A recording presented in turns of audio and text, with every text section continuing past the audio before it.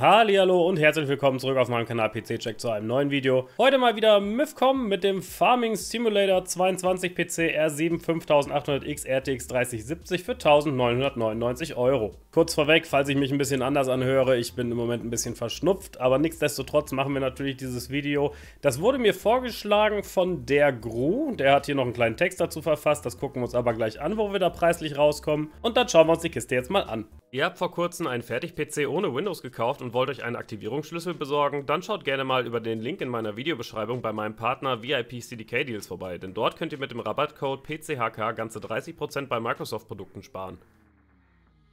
Zahlen könnt ihr ganz bequem via Sofortüberweisung, Visa, PayPal und so weiter. In meinem Fall habe ich PayPal gewählt, weil dies für mich die schnellste Variante war. Danach werdet ihr automatisch in euer Benutzerkonto weitergeleitet und könnt euch dort den Code anzeigen lassen. Den kopiert ihr nun, sucht über die Windows Taskbar nach Aktivierungseinstellungen, fügt dort euren Code ein und ihr habt nun ein aktiviertes Windows. Zuerst wie immer das Bild, ja, es ist mal wieder fake, es ist eine Wasserkühlung angezeigt hier, die überhaupt nicht verbaut ist. Hier oben sind noch irgendwelche Lüfter drin, die so auch nicht verbaut sind. Es ist immer ziemlich schade, wenn die Hersteller bzw. Systemintegratoren das so machen. Allerdings schreibt MIFCOM direkt dabei, Produktbilder können optionale Komponenten enthalten. Bitte beachte die jeweilige Auswahl im Konfigurator. Gut finde ich das trotzdem nicht, weil es ist halt so, die Leute gucken erst nach dem Bild, denken, boah, das sieht geil aus, bestellen das dann, dann sieht es halt nicht so aus. Finde ich immer ein bisschen blöd. Dann lieber nur das Gehäusebild nehmen oder eben wirklich ein PC, wo die Komponenten eins zu eins stimmen. Natürlich ist hier noch ein Konfigurator, dann wissen die Kunden aber, okay, wenn ich jetzt da irgendwas verändere, ändert sich das Bild ja nicht mehr. Das ist klar. Was man wie immer zugute halten muss bei MIFCOM und auch bei vielen anderen Systemintegratoren, nicht bei allen, aber bei vielen, hier wird immer alles schön aufgeschlüsselt. Also man weiß wirklich, was drin ist. Wenn ihr solche Komponenten seht, schmeißt die einfach mal bei Geizhals rein. Achtet wirklich drauf, dass es eins zu eins die Komponenten sind. Und dann habt ihr auch hinterher einen Preis. Und die Differenz seht ihr dann ja. Was anderes mache ich ja hier auch nicht. Das Gehäuse ist in dem Fall ein Be Quiet PureBase 500DX schwarz. Das ist ein grundsolides und auch sehr beliebtes Gehäuse. Haben wir ganz oft bei uns auf dem Discord-Server, dass die Leute sagen, hey, ich will eine Konfiguration. Und dann nehmen sie auch meistens dieses Gehäuse, weil denen vielleicht der Streifen da gefällt oder so. Ich weiß es nicht. Ich mag es optisch überhaupt nicht. Aber das ist euer Bier es muss ja euch gefallen und nicht mir. Da ist schon ein Lüfter vorne verbaut, ein Lüfter hinten jeweils mit 140 mm und auch noch ein Lüfter oben, aber auf dem Bild haben wir eben gesehen, waren zwei Lüfter oben, deswegen meinte ich, das passt halt einfach nicht. Ist aber wie gesagt ein grundsolides Gehäuse, passen die meisten Grafikkarten und so auch rein, muss man immer gucken, wenn man jetzt eine Wasserkühlung zum Beispiel in der Front verbaut, muss man schauen, dass die Grafikkarte dann nicht zu lang ist. Hatte ich schon mal das Thema, deswegen sage ich es nochmal dabei. Und das kostet 109,90 Euro bei Alternate. Der Prozessor ist ein AMD Ryzen 7 5800X. Den Prozessor nehme ich ja persönlich immer für meine Benchmark-Tests und Wasserkühlungstests und so, weil der ziemlich beschissen zu kühlen ist. Der hat zwar nur eine TDP von 105 Watt, pfeift sich aber 144 Watt ungefähr rein, hat 8 Kerne, 16 Threads und unterstützt offiziell 3200 MHz RAM. Das ist zwar einer aus der älteren Generation, wir sind ja aktuell bei der 7000er Serie, die hat auch einen ganz anderen Sockel, die hat AM5, hier haben wir noch AM4, aber der Prozessor ist gut. Der ist zum Streamen gut, der ist zum Rendern gut, der ist zum Zocken gut, das passt schon soweit. Natürlich gibt es noch den X3D, der hat nochmal mehr Spieleleistung oder den 5900 oder 5950X. Aber das ist wirklich ein sehr, sehr guter Prozessor, da kann man überhaupt nicht meckern. Wenn es nach mir ginge, würde ich aktuell lieber auf Intel gehen. Sei es die 12.000er oder 13.000er Serie, weil die alten AM4-Dinger, die werden auch nicht mehr großartig weiterentwickelt. Wie gesagt, AM5 haben wir gerade.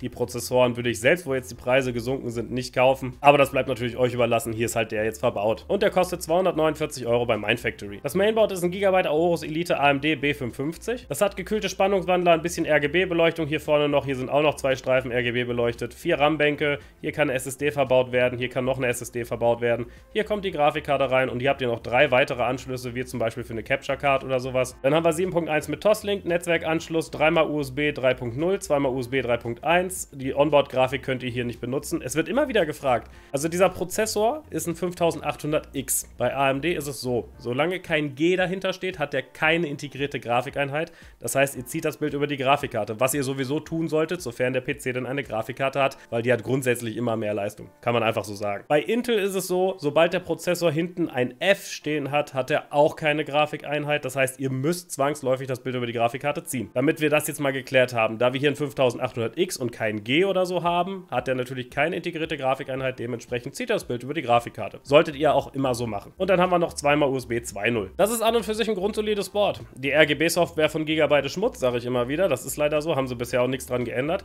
Aber ansonsten ansonsten ist es wirklich okay. Und es sieht auch gut aus, da es kein Micro-ATX oder so ist. In dem Case, super Sache. Und das kostet 142,90 Euro bei XCOM. Die Grafikkarte ist eine Nvidia GeForce RTX 3070 8 GB GDDR6X MSI Gaming Z Trio. Hier wisst ihr sogar, was ihr bekommt. Das ist auch keine schlechte Grafikkarte, das Kühldesign ist in Ordnung, ihr habt ein bisschen RGB-Beleuchtung mit dabei. Mir gefällt es persönlich, das Design. Seht ihr natürlich nicht viel von, weil die Lüfter eh nach unten zeigen. Aber ist auch eine gute Grafikkarte soweit für WQHD noch geeignet. Wollt ihr 4K zocken, nehmt eine stärkere, auch mit mehr Speicher natürlich.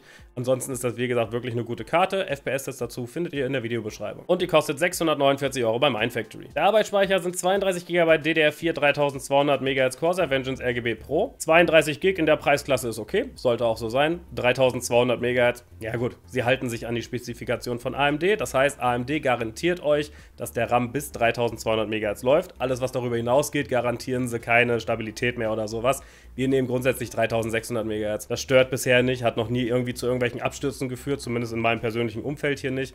Aber 3200, ja, das ist schon in Ordnung. Hat auch noch ein bisschen RGB-Beleuchtung, könnt ihr mit IQ steuern. Und er kostet 109,69 Euro bei digitalo.de. Die SSD ist ein 1 TB Samsung 980 Series. Das ist nicht die 980 Pro, sondern die normale 980er. Die hat eine Lesegeschwindigkeit von 3500 MB die Sekunde und eine Schreibgeschwindigkeit von 3000 MB die Sekunde. Das ist okay. 1 Terabyte, ja, lässt sich drüber streiten, aber die Geschwindigkeit ist in Ordnung. Braucht man theoretisch gar nicht als Gamer, aber ist nice, dass es dabei ist. Kann ich jetzt auch großartig nicht drüber meckern. Das ist schon in Ordnung. Und die kostet 79 Euro bei Saturn. Das Netzteil ist ein 750 Watt Corsair TX Series Modular 80 Plus Gold Kabelmanagement. Da gibt es jetzt zwei Varianten von. Die 2017er und die 21er. Ähm, die 21er ist, glaube ich, 40 Euro teurer. Wenn ihr das hinterher draufrechnen möchtet, ist okay. Es wird halt hier nicht beschrieben, welches es genau ist. Ansonsten hat es 7 Jahre Herstellergarantie, 80 plus Gold-Zertifizierung und ist Teilmodular. 750 Watt reicht auch aus für die Kiste.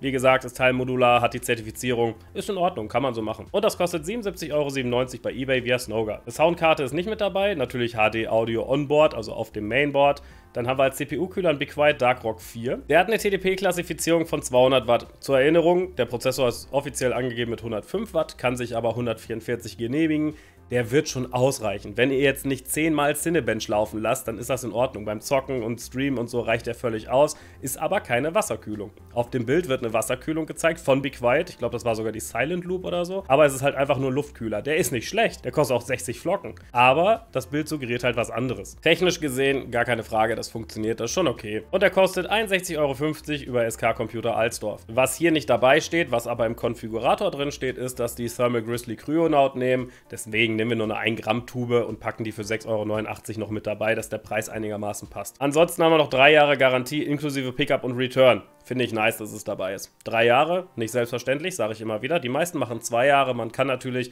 Garantieverlängerung für einen Fuffi oder so noch dabei buchen, zum Beispiel bei Dubaro oder so oder auch bei Krotos.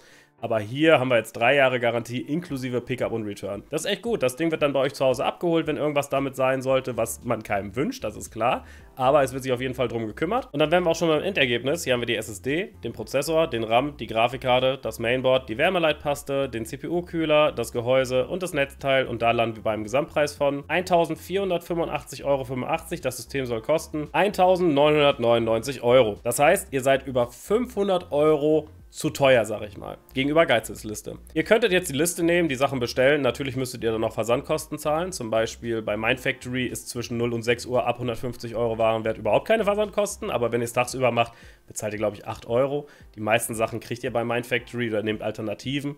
Aber das Ding ist einfach 500 Euro zu teuer. Ich räume denen ja immer so einen Spielraum ein von so 150 bis 200, manchmal auch 250 Euro, je nachdem wie teuer die Kiste ist. Mindfactory bietet für 150 Euro den Zusammenbau auch einfach an. So ist es halt einfach. Und hier sind es 500 Euro Differenz. Und die Kiste könnt ihr selber bauen. Da ist nichts Besonderes dabei, wo man aufpassen muss wegen Wasserkühlung oder so. Nee, das ist eine stinknormale Kiste. Das finde ich echt schade. Mifcom macht viele gute Konfigurationen, die auch aufeinander abgestimmt sind und so. Klar, hier und da gibt es kleine WWchen, aber die machen grundsätzlich gute Konfigurationen. Es gibt schlimmere Systemintegratoren, aber der Preis ist einfach so, weiß ich nicht, das sind 25% des Gesamtwertes fürs Zusammenbauen. Das ist zu viel. Hätte das Ding jetzt 1,7 gekostet, hätte ich noch gesagt, ja, kann man machen. Okay, ist immer noch ein bisschen teuer, ist schon okay, aber hier ist es einfach 2000 Euro. Und damit ihr mal eine Idee bekommt, was man woanders kriegt, mit Dubaro habe ich jetzt nichts am Hut, aber ich habe mal geschaut, was die so haben. Ähm, Kreativecke 1900 PC zum Beispiel. Beispiel. Der kostet 1,9. Da ist der aktuellste Intel drin, der i5 13600 KF, preis-leistungstechnisch im Moment der beste Prozessor, den ihr euch holen könnt aus der aktuellen Intel-Generation.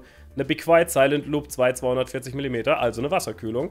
Ein Z690 Gaming X ist auch schon ein aktueller Chipsatz, ist jetzt so ein Einsteigerboard bei Z690, aber das ist auch okay. Eine 3080 kriegt ihr, keine 3070 oder so, nein, eine 3080. Nur 16 GB Arbeitsspeicher. Wenn ihr jetzt noch 16 GB dabei ballert mit 3600 MHz, wohlgemerkt, nicht 3200, seid ihr nochmal so 60 Euro oder so los. Also die könnt ihr von mir aus draufrechnen, dann knackt ihr die 2K immer noch nicht. Eine 1 TB Kingston NV2, die nur geringfügig langsamer ist als die Samsung SSD. Ein 850 Watt Be Quiet, leider nur ein System Power. Es hätte auch gerne ein Pure Power oder so sein können, aber gut, das System Power mit 850 Watt, es reicht aus. Ich hätte es wieder anders gemacht, so ist es halt einfach. Und ein Fantex Eclipse G360A schwarz, kann man jetzt nicht ganz mit dem Be Quiet Gehäuse gleichsetzen, aber ist auch ein gutes Gehäuse. Ihr seht es ja auch hier am Bild, auch eine Mesh-Front, auch drei Luffys in der Front mit RGB-Beleuchtung sogar. Und den haben wir auch bei Geizhals durchgejagt. Nehmen wir die SSD, den Prozessor, den RAM, die Grafikkarte, das Mainboard, das Gehäuse, die Wasserkühlung und das Netzteil, landet ihr bei 1793,54 und das Ding kostet 1,9. Das sind 100 Euro Differenz gegenüber Geizhalsliste. Ich poste die auch alle noch unten in die Videobeschreibung. Wenn ihr das selber vergleichen wollt, bitte. Es steht unten drin. Und 100 Euro schon mehr als fair. Wie gesagt, ich mache immer so 150, 200 Euro, je nachdem. Ne? Hier sind es 100 Euro fürs Zusammenbauen. Und bei dem Ding haben wir einfach eine Differenz von 500. Das ist halt nicht tragbar. Also es gibt durchaus andere Systemintegratoren, die es besser können. Und ich schwöre euch, hätte ich das Ding jetzt zu Krotos geschickt und hätte gesagt, hey, was willst du dafür haben? Hätte der auch so irgendwie 1,7 oder so gehabt, aber nicht 2000 Euro. Also den würde ich auf jeden Fall so nicht kaufen. Ähm, es gibt ab und zu Angebote auf Mifcom, die echt gut sind. Da mache ich auch meistens ein Video drüber. Aber allgemein die PCs sind durchweg schon ein bisschen sehr teuer. Finde ich schade, weil die Konfigurationen gar nicht so schlecht sind. Gut, das wäre es dann auch schon wieder mit diesem Video. Vielen Dank fürs Zuschauen. Abonniert den Kanal, falls es noch nicht gemacht habt. Bis dahin, auf Wiedersehen und ciao, ciao.